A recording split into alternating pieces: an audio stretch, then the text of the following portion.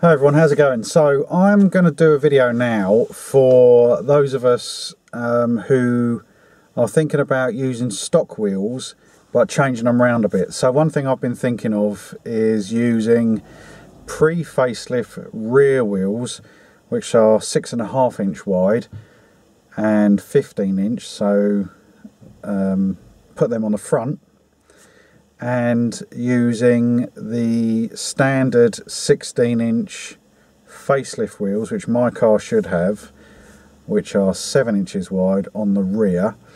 So I've got my son managed to get me a set of facelift wheels uh, which I've been looking for for a while. As I said in a previous video I think my car has currently got pre-facelift wheels. So pre-facelift MR2s which was uh, before 2003 they come with 15 inch wheels all round and the rears are wider. Post facelift cars are 2003 and onwards they come with 16 inch wheels on the rear which are half inch wider. The fronts are still 15 inch. So I'd like to fill out the arches just a little more not go too crazy. I still want to keep the 15 up front 16s on the rear so what I'm going to do is we are going to move the wheels around so everyone can have a look and see how far they come out as stock.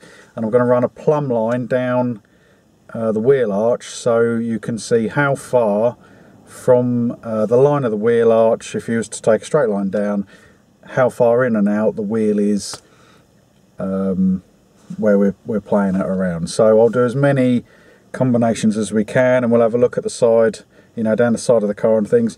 Now the wheels that I've got on mine are black.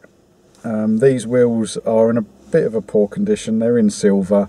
Um, they're going to go off to be powder coated, which is why I need to decide which wheels I'm putting on where. Now I think what I'm probably going to do, as I say, is put the pre-facelift rears on the front and the post-facelift rears on the rear. Uh, and perhaps space them out 15-20 mil. But um, let's have a look. And hopefully, if you're thinking about spacers, it might also give you an idea of how far it's going to push uh, the wheel out depending on whether you want to go for 10, 15, 20 mil. I think most people go for 20 mil, so let's, uh, let's have a look.